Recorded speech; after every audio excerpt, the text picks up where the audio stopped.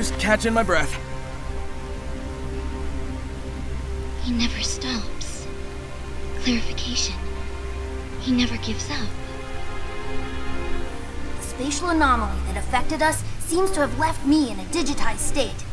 But those same energies are manifesting into some worrisome mutations for you. Those sure are words you said just now. I'm saying I'm fine. You're not, and I'm worried.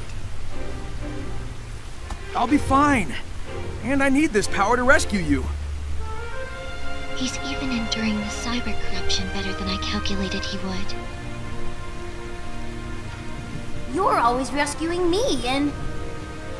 Let's focus on the now. What do you need? Chaos Emeralds. You think you can help me track them down? I'm on it.